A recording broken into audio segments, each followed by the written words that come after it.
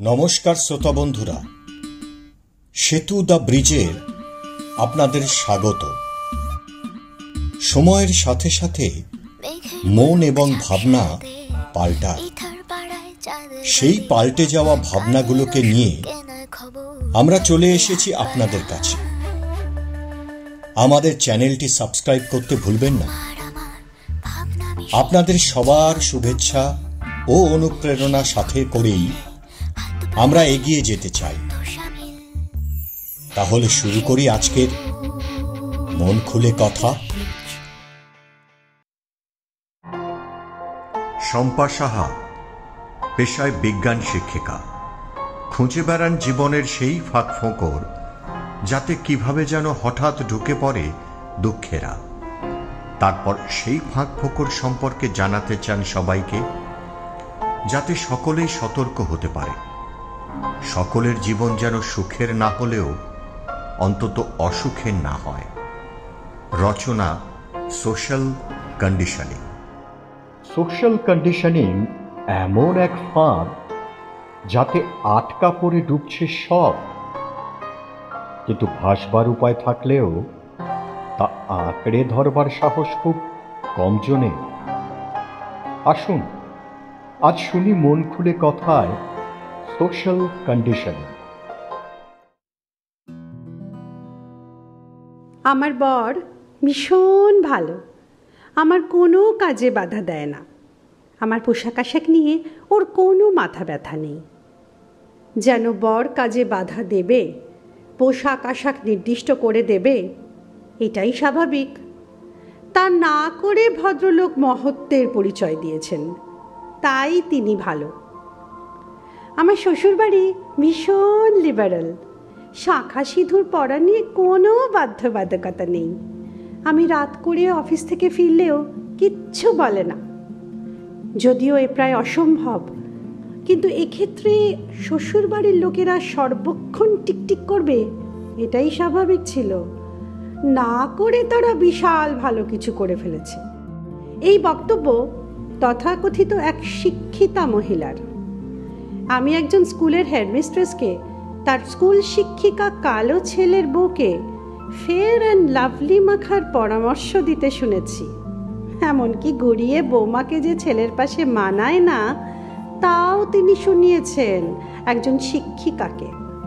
এবং যথারীতি বৌমা প্রতিবাদ করেনি, কারণ এক তার নতুন বিয়ে, দুই তার স্বামীর এসবে প্রচ্ছন্ন সমর্থন। আমি নিজে বিয়ের পর বহু বছর আমার বাবা একটা টাকাও পণ দেননি। ছেলের অন্য জায়গায় বিয়ে হলে না জানি কত পণ পেতর সোচ্চার দীর্ঘশ্বাস শুনেছি। হ্যাঁ আমি শুনেছি এবং মুখ বুঝে এমনকি আমাকে বারবার জিজ্ঞাসা করেছেন আমার শাশুড়ি মা বলো, একমাত্র ছেলের বউ। একটু ফর্সা, সুন্দর না হলে হয়। একটু ফর্সা টর্সা হবে। কি আর করা? হ্যাঁ আমি শুনেছি। এবং চুপ করে মুখে কুলুপ এঁটে কোনো প্রতিবাদ করিনি। যারা বলে প্রতিবাদ করা দরকার, তারা ভুল বলে। সব সময় প্রতিবাদ করতে নেই। অপেক্ষা করতে হয়। তখন প্রতিবাদ করলে আমি জীবন গুছিয়ে নিতে পারার মতো পাথেও কোথায় পেতাম? আমি শিক্ষিতা হয়েও এসব শুনেছি। যিনি বলেছেন, তিনিও শিক্ষিতা হয়েই বলেছেন এবং বলাই বাহুল্য, তিনি একজন মহিলা। আমার শ্বশুরমশাই আমার অপয়া অলক্ষীপনা নিয়ে এমনই হাজার অভিযোগের ঝুলি খুলেছে আমার বাবা মায়ের সামনে। সুযোগ পেলেই। এমনকি আমার বাবা মা হাস্যকরভাবেই সেই লোকজনকেই সমর্থন করে আমাকে বকেছেন মেয়ের সংসার টিকিয়ে রাখতে। এই যে ঘটনা পরম্পরা, এখানে শিক্ষিত, অশিক্ষিত নারী, পুরুষ, আপন, পর, বাবা, মা, শ্বশুর, শাশুড়ি এসবের ভেদ নেই। এখানে আছে শুধুই মাইন্ড কন্ডিশনিংয়ের গল্প। প্রাচীন মাইন্ডসেটের গল্প। আমরা ভুলে গেছি, আমরা জন্ম স্বাধীন আমার স্বাধীনতা কোনো একজন মানুষের মুখাপেক্ষী নয়। কেউ দিয়েছে বলে স্বাধীনতা পেয়েছি? তাহলে এই ভাবনা ভাবি কেন? কারণ আমরা ওইভাবেই ভাবতে শিখেছি যে আমাদের ভাবতে শেখানো হয়েছে। মেয়েরা ইচ্ছে মতো নিজেরা চায় বলেই বাঁচতে পারে, এমন নয়। তার পুরুষ পরিবার পারমিট করলেই পারে। আর না পারমিট করলেও সমস্যা কিছু নেই। তবে অনুমতি দিল মানে তারা ভালো। আমার শাশুড়ি মা নিজে শ্যামলা। কিন্তু তার কেন বারবার ফর্সা বা সুন্দর বৌমা নিয়ে বায়না ছিল? কারণ তার চাহিদা ছিল টাকা। তার না পেয়ে আমার সব কিছুই তার খারাপ লাগতো। আমার বাবা মা কেন আমার শ্বশুর বাড়ির লোক আমাকে খারাপ কথা শোনালেও আমাকেই মানিয়ে নিতে বলতো? কারণ এক তো তারা জানে মেয়েরা যেমনই হোক, ওই শ্বশুর বাড়িতেই থাকবে। এছাড়া নিজেদের পিঠ বাঁচানোটাও একটা বিরাট ফ্যাক্টর ওই উট পাখির মতো, বালিতে মুখ বুঝে ভাবলেও সমস্যা থেমে যাবে কিন্তু সমস্যা থেকে চোখ ফেরালেই সমস্যার সমাধান হয় না। আর আমি কেন চুপ থেকেছি? লোভ। সংসারের লোভ। অথবা এটাও হতে পারে, ভালো হবার সামাজিক মেডেল যা পেতে লালাই তো সব মেয়েরাই।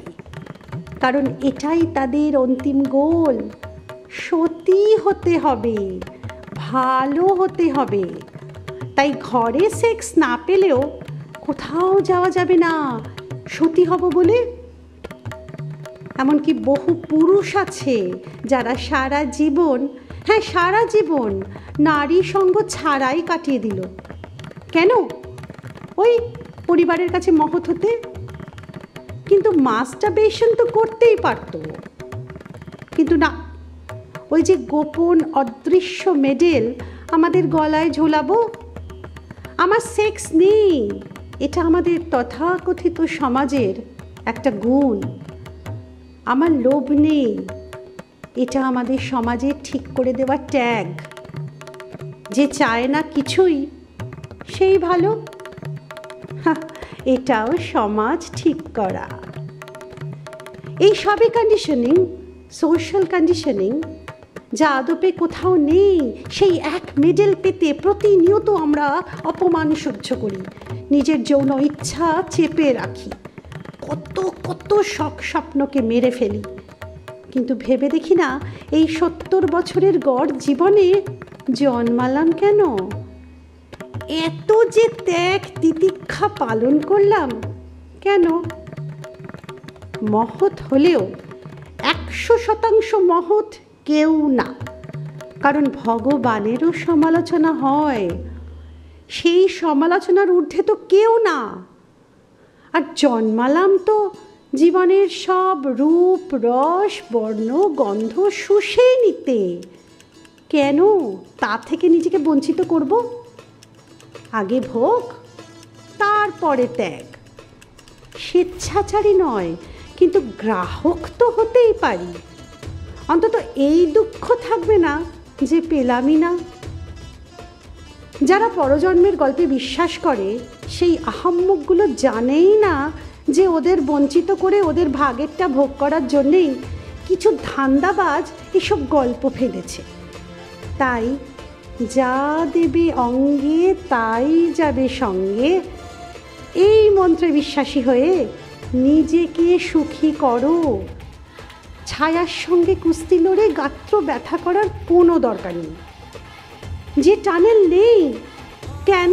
সেই টানেলের শেষে আলো দেবে এরকম আশা করো? তাই সুখী হতে গেলে, খুশি হতে গেলে তা আজ থেকেই হও। কোনো কিছুর অপেক্ষায় থেকো না।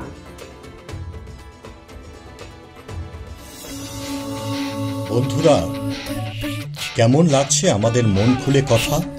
অবশ্যই জানাবেন। আজ আসি। দেখা হবে আগামী সপ্তাহে নতুন একটি মন খুলে কথা নিয়ে। নমস্কার।